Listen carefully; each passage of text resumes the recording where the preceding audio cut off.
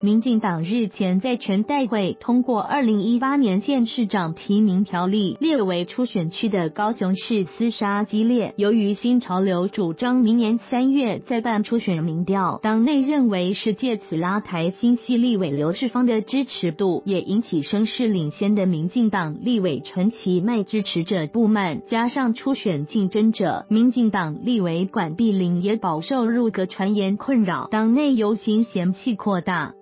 为避免时间拖愈久，初选裂痕愈大，民进党选举对策委员会本周将邀集有意角逐者协调高雄市初选事宜。刘世芳及陈吉迈接阵时已收到通知，两千零十七左因万年祭开锣，高市长陈菊明代邀请民众多多参与。前排左起立委林代化，高市议员陈丽珍，立委许志杰、陈菊，高市副市长许明春，立。立委刘世芳、高市副秘书长蔡伯英、立委陈其迈、记者杨卢佳摄影分享。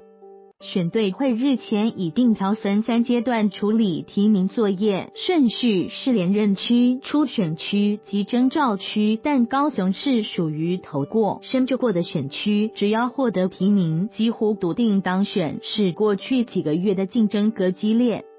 高雄资深民代指出，最近刘世芳所属的新潮流系对外宣传，明年三月党内初选，请支持刘世芳，让陈其迈支持者认为是故意拖延初选时程。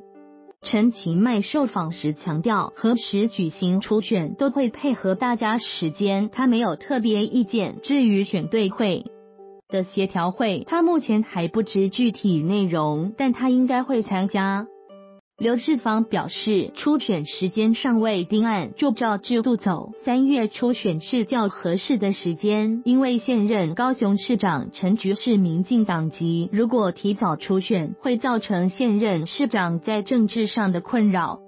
刘志芳说，三月初选完，接着明年七月由全代会正式提名市长初选，每一次都是这个时间点，更何况其他县市也要初选。党内人士指出，民调高者多半会希望初选尽快举行，民调低者则会要求延后举行。至于民调的时间点，就看协调结果，提前或延后举行的情况都有。刘志芳阵营只是把日期压在合理范围内的最底线，但熟悉选情的人士指出。陈其迈身世相对稳定，刘志芳在新系清全力拉抬后，目前民调虽然有起色，若是要几个月内赶上陈其迈，虽不无可能，但也可能因此造成反新系势力的集结，甚至伤了陈局的公正性。